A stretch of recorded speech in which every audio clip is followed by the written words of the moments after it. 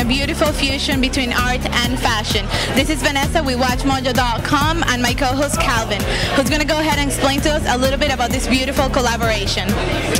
Welcome to Yves Laroche Gallery, where tonight we're joined by amazing, amazing pieces of artwork that have been custom designed by artist Zilon, where each piece is influenced by the puma.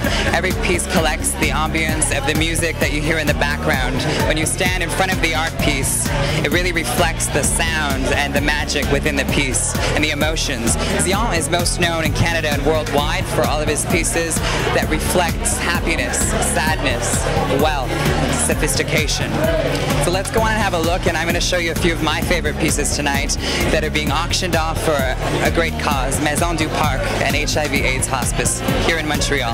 While there's the myth, Vanessa, that good things come in small packages and certainly here with Vanessa, good things come in small packages, of course. I'm happy to be a co-host with her tonight.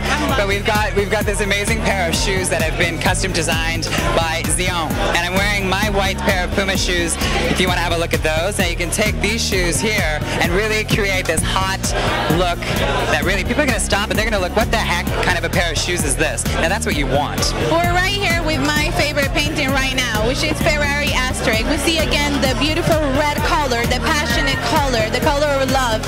And we actually see too um, the symbol of Ferrari, hence the name of the painting, which um, collaborates with Puma for all the sponsoring events and sporting events. Now Calvin is going to talk to us a little bit piece, this beautiful black and white mannequin right here. So these mannequins are made locally in Montreal.